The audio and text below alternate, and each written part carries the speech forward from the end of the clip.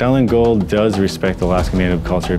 They take input from everyone from the villages and everyone from the region. Donlin Gold, they have came into our community to give out information and updates. Everybody can can work together to make this work and, and still live the the lives that we live around here and enjoy the river and enjoy the land and, and provide more opportunities. So everything works for everybody.